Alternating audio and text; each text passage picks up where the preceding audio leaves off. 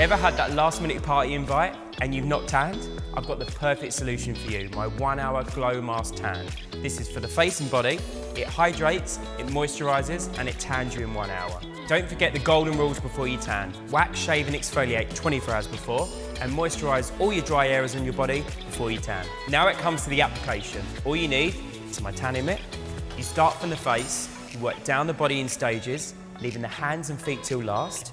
You work the leftover product from the arms onto the hands and the leftover product from the legs onto the feet and ankles.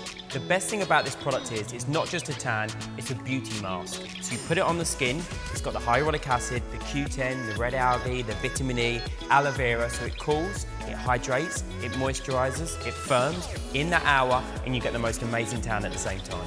As this dries in 60 seconds, it allows you to go on with your day. So you can go to the supermarket, do a bit of shopping, you can do the cleaning, you can take the kids to school. This is a product that works for everyone.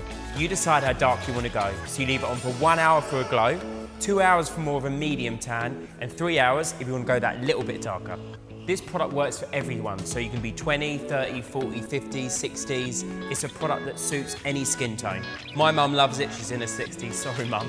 She loves it because it's easy to use, it firms the skin, it hydrates, it's everything you want from a beauty product with an added extra being a tan.